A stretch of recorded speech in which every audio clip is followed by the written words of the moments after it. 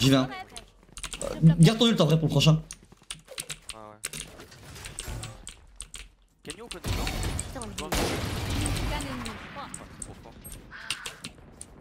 Ah nice.